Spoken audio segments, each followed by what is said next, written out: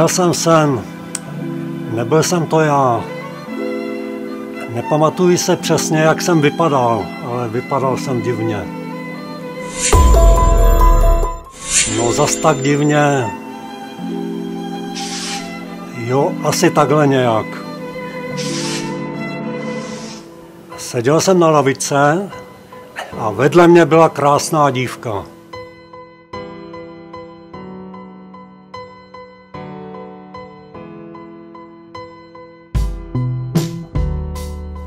Pili jsme víno a asi jsme ho vypili dost, protože jsme najednou oba leželi na zemi. Dívka najednou zmizla a místo ní tam byla gumová kačenka. Najednou odplavala, i když nebyla žádná voda. Pak jsem se zase změnil. Měl jsem ženské ruce. Vstal jsem a vyšel jsem na nějaké nádvoří, kde stála spousta lidí.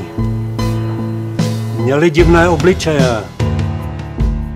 Prošel jsem mezi nimi, měli zvláštní výrazy a někteří nevypadali ani jako lidé.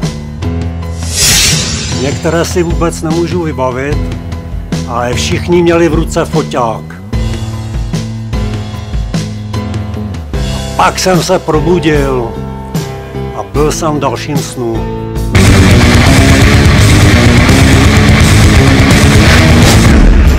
Jsem jako prodavač megapixelů a přede mnou dav lidí. Zase ty lidi stáli před pultem a sápali se na mě. Každý chtěl poradit, každý chtěl vědět, jestli má v ruce Nikon, Sony nebo Canon. A já to nevěděl.